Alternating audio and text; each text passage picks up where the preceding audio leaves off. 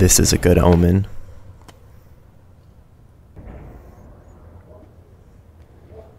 Just skating towards the park in the adjacent neighborhood, I come across the whole pack.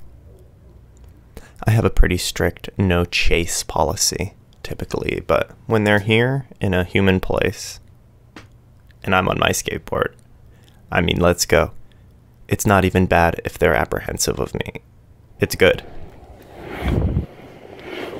Where are you going? Where are you going? Where are you going? Where are you going? Where are you going? Where are you going?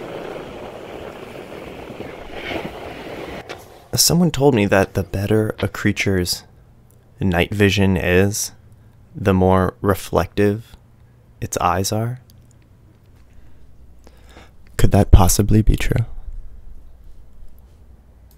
It's obvious the pack doesn't really have a strategy for encountering a person like me. Where are you guys going?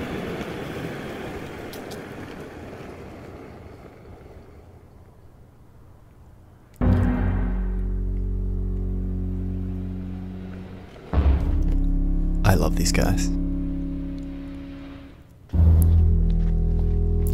I'm gonna let them go hunt and leave them alone because I didn't come here for canids tonight.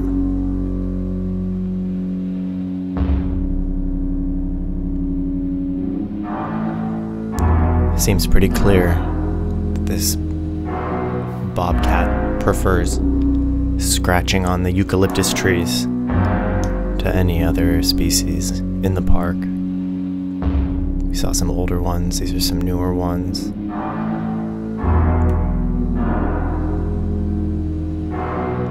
There they look healed over. This is a beautiful, fresh marking, and they all happen at about the same height up the tree. You can see how long the cat is when it reaches up and scratches. It Comes up about that high.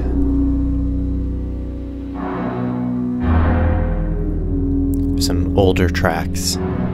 Old because the ground hasn't been made that wet in long time. One of the only scrapes on a non eucalyptus tree.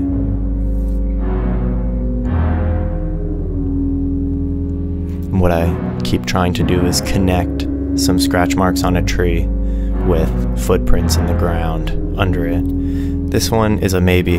Looks like it could have uh, kind of pressed backwards as it gained traction into the scratch. But this is what I like to see, where you can see the toenails in the dirt covering up scat. And I found that Debs has this bitching skate spot drainage architecture that's been souped up by skaters. I wish I could send this back to 2006 Western Massachusetts. My friends and I would have lived here. I'd be a better skater, I bet. Gnarly owl pellet on the ground, but that's not what's gnarly. This is what's gnarly. Regurgitated by the same owl. This is a only semi-formed, translucent skull caked in feathers and bones. This is an infant barn owl, likely fed to its siblings by its parent. Nature is red in tooth and claw, what my dad says.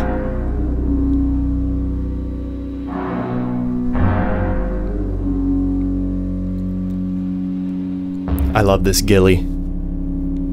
I made one of the nice extra features of it, something you can't do with a ghillie suit. Just take it off, flip it inside out, and instead of matching something furry like foliage, it'll match concrete, tree bark, stone. And then I heard more birds take wing than I've ever heard at once.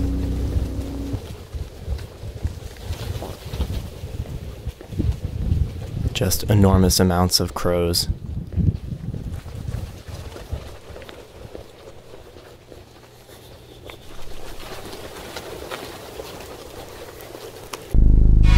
And then here this is what I'm looking for. Multiple, multiple scrapes and scat in the same place. Coyote, scat, dog shit. Guys, this is the water I swim in, and none of it looks like this. The segmented, rock hard, kind of circular balls scat covered in scraped over dirt, fur. This is not shitted out, this is just from a kill as it was eaten here. Old sign, new sign, old scat, new scat. This is where next time I will simply be camping, perhaps in a tree, all night. Look at that little hand.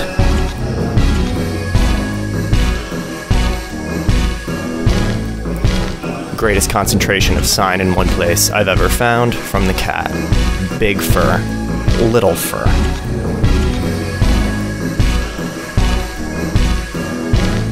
When you see old sign mixed with new sign, that means it comes repeatedly to the same spot. Beautiful moment here. Two front paws looking downhill, even with a depression for its booty as it just sat and watched. Here's the first scrape that I found on my stream a couple weeks ago. Actually, I went back to this spot and then chose to stay here for what is my favorite part of these nights. Around dawn, I'll typically do an extended just sitting still. This is 30 minutes sped up. A lot of people are quick to equate Buddhist meditation and creativity. It's the opposite.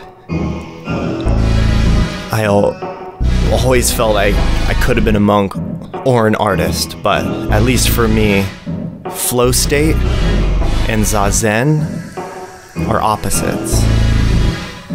Only this year, as I'm trying to get animals on camera for my creative projects, do I have for the first time the feeling of reuniting a Zen meditation practice with a active art composition.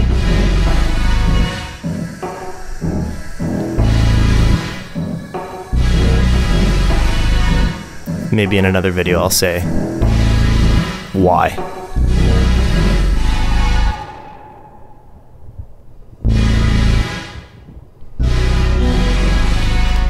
It's my dream to devote 100% of my energy to making art and making media and not needing to hold down a day job in the service industry. Hitting like and subscribe moves me closer to that, so thanks if you did. And thank you for watching.